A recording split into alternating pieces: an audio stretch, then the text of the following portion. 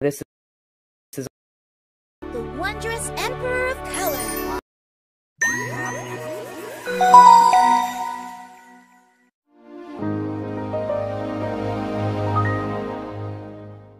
What's there to be jealous of?